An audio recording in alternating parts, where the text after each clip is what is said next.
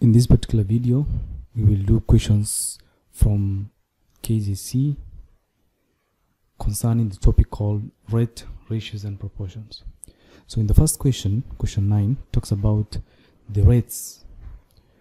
And uh, the question reads as follows.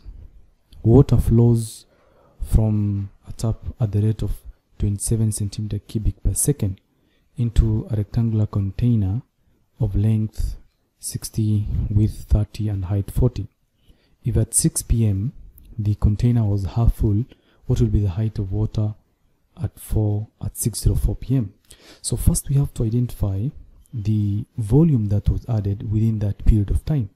So we'll get the time 6:04 minus 6 p.m the time difference is 4 minutes and the rate we are told that in one second the container gains 27 centimeter cubic.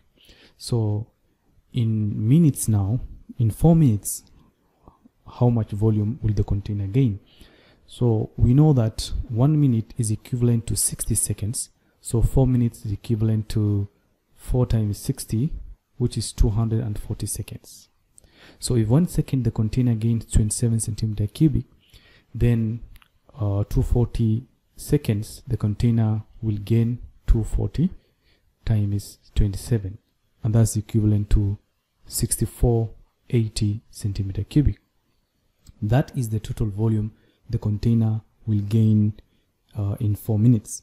So but we're told we need to get the new height of the container but before we get the new height uh, we have to know clearly that at 6 p.m. the container was half full. Um, half full, therefore, which means that the height of the container is 40 when it is full.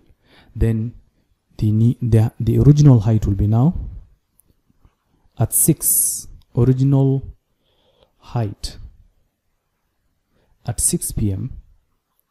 Since the container is half full, it's 40 divided by 2, which is 20 centimeter okay so we will get the new height the height we gain after this volume is gained and then we add to the original height when the container was half full. So the new height will be 60 times 30 times h equals to the new volume that was gained which is 6480 dividing both sides by 60 times 30 we get the new height as 6480 divided by 1800 and that is 3.6 centimeter. The new height that was gained is 3.6 centimeter. So the original height which is 20 centimeter plus the new height that was gained 3 centimeter at 6:04 p.m. the height of the container will be 23.6 centimeter